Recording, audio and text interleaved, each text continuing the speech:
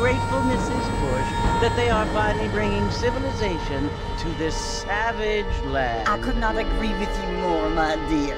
My daddy settled this land, and I know he'll be looking down on us, pleased at how we help the natives. Yes, they've lost their land, but they've gained access to heaven.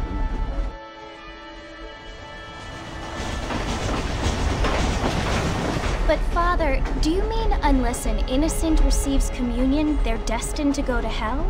Uh, that hardly seems fair. Uh, what I mean to say, Jenny, is that there is a great deal of difference between an innocent and a savage. I never thought of it that way. Yes, they lived like animals, but they're happier now. Uh-huh.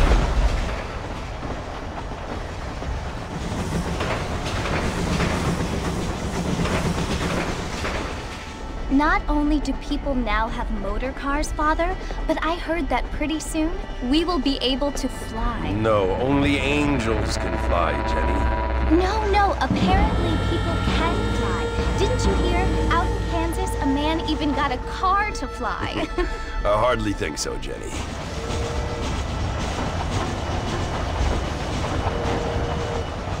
Apparently, Mr. Johns wants to run for governor, which is why he's so concerned with cleaning up the state. Nate Johns.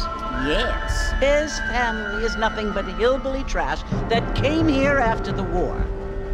I don't want to be judgmental, but this state should not be ruled by such a disgusting family. A family without class. Apparently. The Johns family have made a lot of money, and he has a lot of friends in politics. Mrs. Bush, money isn't everything. There are many things that money cannot buy. It seems that money can buy voters, though.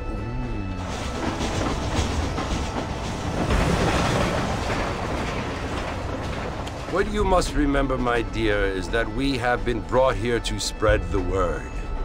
And the word and civilization, they are the same thing. They are the gifts.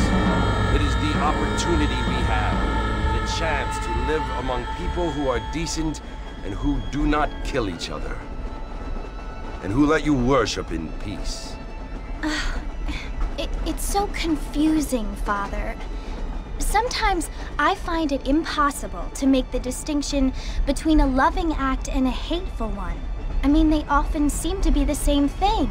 Yes, Jenny, it, it is confusing. But you only have to ask me if you need help.